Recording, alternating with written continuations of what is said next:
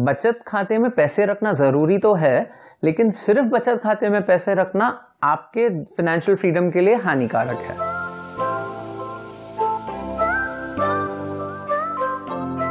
Hello and नमस्ते। मैं हूँ मनीष आहूजा और ये है पेचेक टू प्रॉफिट इंडिया का पहला यूट्यूब चैनल जो आपके फाइनेंशियल फ्रीडम के बारे में बात करता है आपके साथ। आज के वीडियो में मैं आपसे बात करूँगा आपके बचत या सेविंग्स के बारे में। क्या आपको आपके पैसों को सेविंग्स अकाउंट में या बचत अकाउंट में रखना चाहिए बैंक में? क्या उसका कोई फ़ायदा है या उसके कोई नुकसान भी हो सकते हैं? मुझे पता है ये टॉपिक सुनने में काफ़ी आसान लगता होगा, लेकिन क्या है कि थोड़ी टेक्निकल चीज़ें हैं जो आपको पता होनी चाहिए, और अगर आपको वो ना पता हो तो वो आपके फाइनेंशियल फ्रीडम या आपके फ्यूचर के लिए फाइनेंशियल फ्यूचर के लिए काफ़ी हानिकारक हो सकती है। सेविंग्स यानी बचत। ये एक ऐसी चीज़ है जो हम बहुत सालों से बचपन से सुनते आ रहे हैं। जितना भी पैसा कमाओ, उसे ज़रूर बचाओ। बचत पे हमेशा ध्यान दो। और मुझे पूरा विश्वास है कि जितने भी लोग ये वीडियो देख रहे हैं, वो अपने पेचेक का एक छोटा सा हिस्सा या एक बड़ा सा हिस्सा, आपकी ज़रूरत और आपकी शौक के हिसाब से, एक हिस्सा आपके पेचेक का, आपके सेविंग्स अकाउंट में या एक बचत बचत खाते में जाता है। मुझे तो काफ़ी लोग ऐसे भी पता है जिनके पास एक अलग बचत खाता है जहाँ पे वो हर महीने अपने पेचेक का एक हिस्सा बिना भूले उस बैंक अकाउंट में डाल देते हैं ताकि उनका पैसा उस बैंक अकाउंट में पड़ा रहे, उनकी बचत बढ़ती रहे और उनको उसके ऊपर फ़ायदा होता रहे। वैसे तो आपको इस बचत खाते में जो चार या छः प्रतिशत का आपको इंटरेस्ट मिल रहा है, वो देखा जाए तो बहुत रिस्क फ्री लगता है, जोखम इसमें कुछ नहीं है, क्योंकि आपको बैंक पैसे देने ही वाली है। लेकिन दो चीज़ें हैं जो आपको पता होनी चाहिए, जिसके हिसाब से आपको समझ आएगा कि बचत करना अच्छी बात तो है, लेकिन सिर्फ़ बचत करने से आपके फाइनेंशियल फ्रीडम में, आपके रिटायरमेंट के फंड्स में बहुत ज़्यादा तकलीफ़ हो सकती है आपको। पहला कॉन्सेप्ट जो आपको समझने की ज़रूरत है इकोनॉमिक कॉन्सेप्ट है, जिसे कहते हैं इन्फ्लेशन इन्फ्लेशन सुनने के लिए काफ़ी कठिन लगता होगा, लेकिन ये एक ऐसी सच्चाई है जिससे हम सब वाकिफ है। इन्फ्लेशन को अगर हिंदी में समझाया जाए तो उसे कहते हैं महँगाई। अब ये तो हमें सबको पता ही है, महँगाई आज तक कभी कम तो हुई नहीं है। हम जो भी रेस्टोरेंट में जाके खाना खाते हैं, वहाँ पे हर साल खाना महँगा होता जा रहा है। हम जो पिक्चरें जाके देख रहे हैं मल्टीप्लेक्स में, उसकी टिकट की प्राइस पिछले साल से कंपेयर करो तो इस साल ज़्यादा महँगी होती जा रही है। वहाँ पर तो जो पॉपकॉर्न मिलता है, जो हमेशा से इतना महँगा था, वो और महँगा होता जा रहा है। तो महँगाई एक ऐसी चीज़ है जो हमें हमेशा से पता रही है। लेकिन जो आपको एक चीज़ पता होनी चाहिए कि महँगाई एक्चुअली बढ़ती कैसे है या क्यों बढ़ती है। तो महँगाई इसलिए बढ़ती है कि अगर कोई देश तरक्की कर रहा है तो उस देश में काम करने वाली सारी कंपनियाँ भी तरक्की कर रही हैं। उस तरक्की के हिसाब से सारे लोग जो उन कंपनियों में काम कर रहे हैं, उनकी भी तरक्की होती है।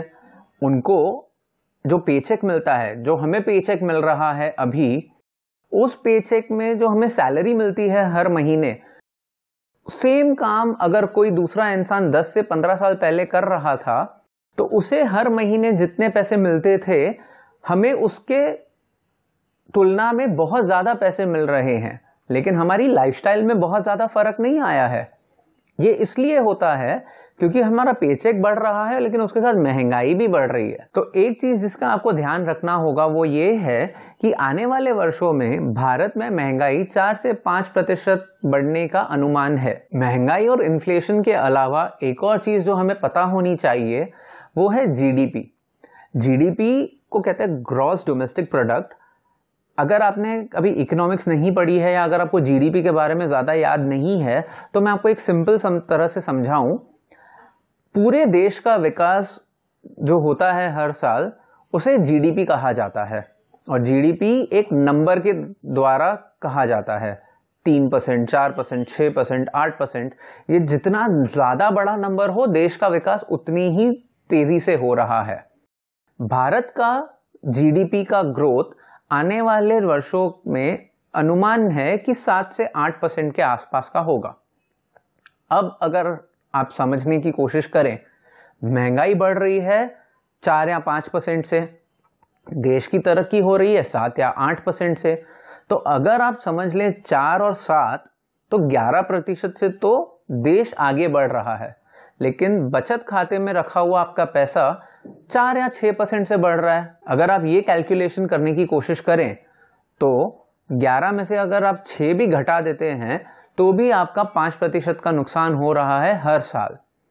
आने वाले वीडियोस में जब मैं आपके साथ कंपाउंडिंग के बारे में बात करूँगा, तब आपको समझ में आएगा कि एक एक प्रतिशत का कितना महत्व होता है आपके फाइनेंशियल फ्रीडम में, आपकी फाइनेंशियल ग्रोथ में, और इसे बचाना कितना ज़्यादा अनिवार्य और कितना ज़्यादा ज़रूरी है। तो अगर सिंपल भाषा में बात करें तो हमें एक चीज़ समझना बहुत ज़रूरी है कि बचत के अलावा हमें अपने पैसों को एक ऐसी जगह पे रखना होगा जहाँ पे हमारे पैसों का ग्रोथ 11 या 12 या उससे थोड़ा एक आध परसेंट ज़्यादा से अगर हो तो हमारा फ्यूचर फाइनेंशियली सिक्योर हो सकता है।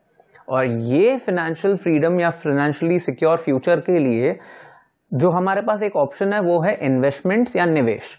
अब इन्वेस्टमेंट सुनना या इन्वेस्टमेंट के बारे में सोचना काफ़ी लोगों के लिए डरावना लग सकता है।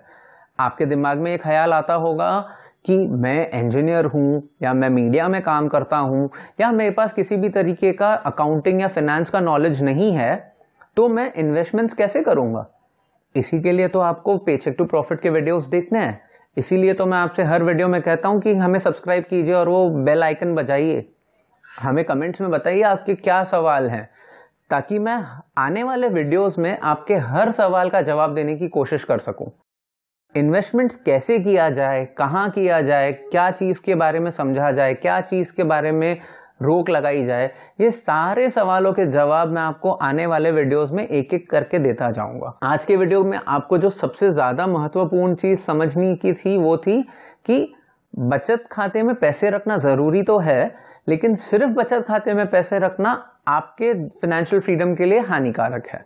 तो आज के लिए बस इतना ही। अब आपसे मुलाकात होगी अगले वीडियो में। तब तक के लिए मुस्कुराते रहिए, अपने चाहने वालों का ध्यान दीजिए और खुश रहिए।